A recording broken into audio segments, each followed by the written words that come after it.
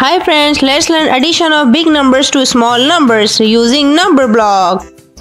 1 million plus 100,000 plus 10,000 plus 1,000 plus 100 plus 10 plus 1 is equals to one million one hundred eleven thousand one hundred eleven.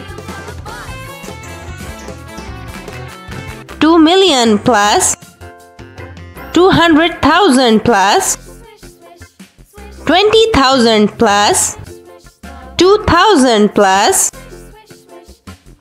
two hundred plus twenty plus two is equals to two million two hundred twenty two thousand two hundred twenty two.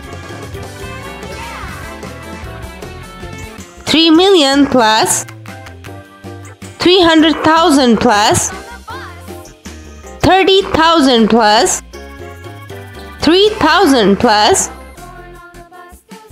three hundred plus thirty plus three is equals to three million three hundred thirty three thousand three hundred thirty three.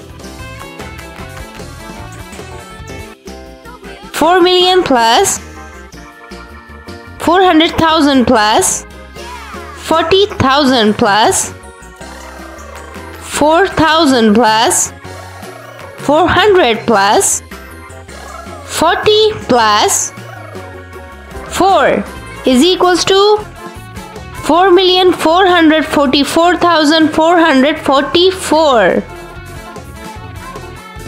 Five million plus five hundred thousand plus fifty thousand plus five thousand plus five hundred plus fifty plus five is equals to five million five hundred fifty five thousand five hundred fifty five. Addition of big numbers to small numbers 1 million plus 100,000 plus 10,000 plus 1,000 plus 100 plus 10 plus 1 is equals to 1,111,111. 2 million plus 200,000 plus 20,000 plus 2,000 plus 200 plus 20 plus 2 is equals to 2 million 222,222. 3 million plus 300,000 plus 30,000 plus 3,000 plus 300 plus 30 plus 3 is equals to 3,333,333. 4 million plus 400,000 plus 40,000 plus 4,000 plus 400 plus 40 plus 4 is equals to 4 million 444,444.